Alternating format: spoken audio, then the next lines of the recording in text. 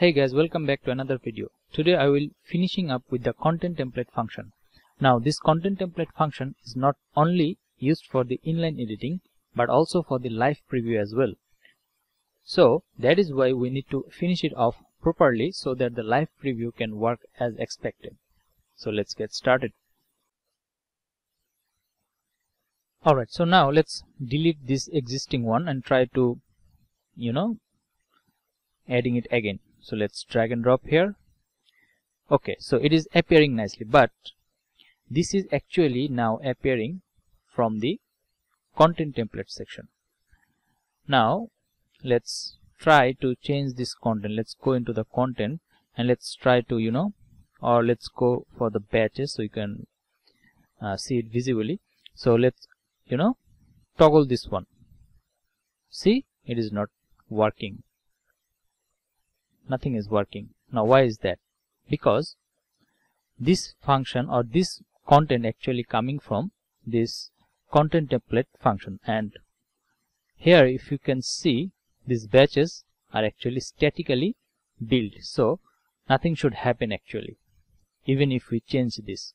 But previously it was working because that time it was coming from this function this render function as soon as you you added some content here it is actually expecting you for the live preview from this content template function. So that is why it is not actually working right now but we can you know make it working. So let's uh, you know get, get get into it. So in order to make those things working again we need to use some JS templating and you know uh, working with some JS objects values in order to make those things working again. So let's go back into the browser and search for Elementor uh, controls. Alright, there is the controls. Now what we will do, at first we will deal with these image things. Right now it is actually coming from this local URL. So that is why it is appearing. But in the real scenario it will you know not not appeared so let's uh, go back for the image or media. So here it is. Let's open it. And at the bottom of this example there's a example actually here showing that how you should add this image. If you if you key is image then you do have a url object as well. So uh, so what we can do we can do like settings dot image dot url in order to get the image url so let's do that. So what we can do here let's word wrap. We can just delete this from there. And what we can do uh, we can use double quotation double uh, curly braces and say settings dot and let's find out our image actually image key that we have used. You can find this from here actually you have used image. So let's do like settings dot image dot url so if you are not getting it actually it is it is the key name uh, by which you have added the image into the controls before alright so it should work. So let's go back and hit refresh. If it is stays as it is then it should work. So let's try to change it. Let's try to change it with this one. As you can see if it is changing in a live preview then that means it is working. Alright so we can hit update. Now let's go back and do some other stuffs as well now the next thing I want to do is uh, whether the link is linkable or not. So what I mean is that uh, when we you know show image link when uh, right now if we hover it over it is actually showing the image. But if we toggle it it shouldn't allow me to click on this image because it is now not linkable but it is not reflecting. So we are we actually need to deal with that as well. So let's do a condition here with the image templating syntax. So we can say if yes equal to equal to triple equal to that we'll check the type as well. So settings dot show image link that is the key name for the toggle. So then we can you know. Do the template closing and let's cut or delete and wrap it like here. Not the PHP all right so this time what we're doing if this toggle value is yes only then the link will appear otherwise not. So let's check that out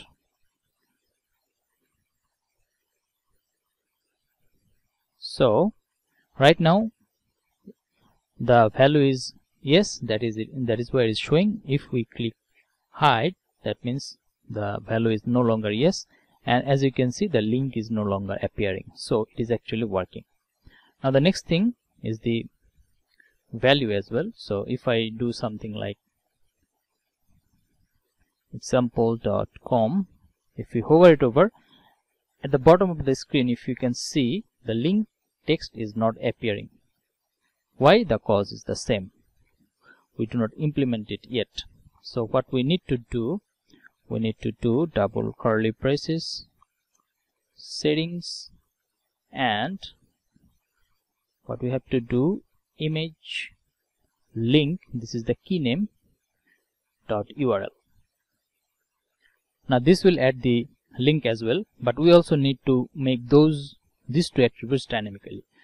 So let's go back and search for the url there it is. And if we go bottom as you can see we can use something like this and then we can just inject these variables like this. So let's do that. All right so let's put right above paste it here. And let's just rename a bit because we might have more target and no follows so let's say image. And we need to change those keys as well. The key uh, is actually image link. So all right now what we can do we can remove these two. And double curly braces. And we can say image target here. And then the image no follow. All right so it should reflect on the front end as well. So hit refresh. And let's try to add something. All right it is already added. So now if you can see at the bottom when I'm hovering over on the image example.com is appearing. So it is changing live so if we change it is reflecting live all right so let's move on to the next steps. So let's uh, do for these two things top top price batch and the middle price batch as well. So let's first you know copy this if condition because we have to also check those as well if it is checked or not. And let's copy this from here.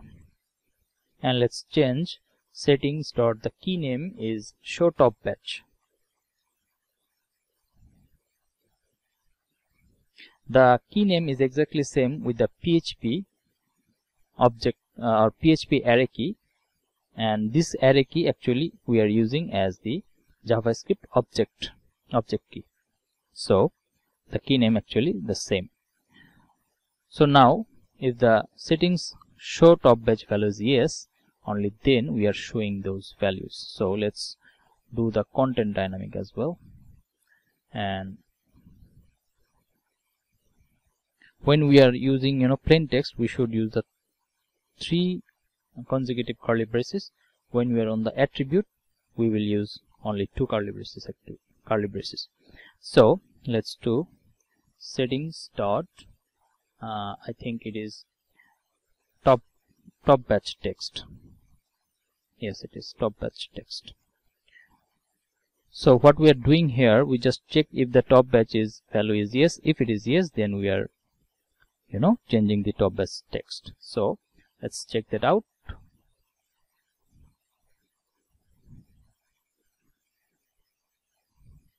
all right so let's go to the content and not the content but the patch so if we click on now see it is not showing. Now when it is showing we can change the value and it is reflecting live. So you can add the dollar sign in front as well. All right but with the uh, rest of this these are not actually reflecting. So we also need to deal with that. So let's do that real quick. Let's just copy this one and this one as well. And this should be the show middle batch. And the uh, value should be like settings dot middle batch text. Alright so let's copy this one and we do have another patch in the bottom alright so let's copy this ending. Paste it here and this should be show bottom batch. And let's just copy this one from here and just change the key name. This should be bottom batch. So let's check into the front end as well. Okay we have must be done something wrong. All right it was it was a caching problem so now it is appearing. So now if we click on that and click on batch so if we click on there as you can see the middle batch is gone and the bottom batch is also working. So if we change the value from there it is also working. And if you can change add a dollar sign in front it is also working so the batch is you know working nicely. So let's move on into the next uh, next functionalities. So let's deal with the content now. So with the content what we have actually we do have title and then the description. So what we can do uh, we actually added those things in uh, in order to when we added inline editing so I think those things should be okay. So let's check the default title. Let's say settings. Yes it is working. Description test. Yes it is working. So we do not have to do that again. So now let's move on into the divider as well. So for the divider what we need actually we do have a show or hide divider. So we just only need to deal with that. So let's put a if condition again. So i'm just copying it. And the end statement as well. Okay. Now the key name for the divider is show divider. Alright so let's check that out. Hit reload. And if we go to the content and if we click on show it is hiding. And when we click on show it is again appearing. So it is also working nicely. Now the one thing is left it is the button so let's do that real quick as well. So for the button at first we need to make the link dynamic. So what we can say we can say settings dot link dot url link is the key name. And this time we also you know make those dynamic as well. So what we can do like before we can just copy and paste it here. We can say link target and the link no follow also need to change the key from image link to just link. And what we can do now we can remove those two attributes and you can say like link target and sorry and link no follow. All right now the next thing is the text. So what we can do because it's a text so we need to use three uh, curly braces. So we can say settings dot link text. This is the key name for the link text. All right. So i think this should be it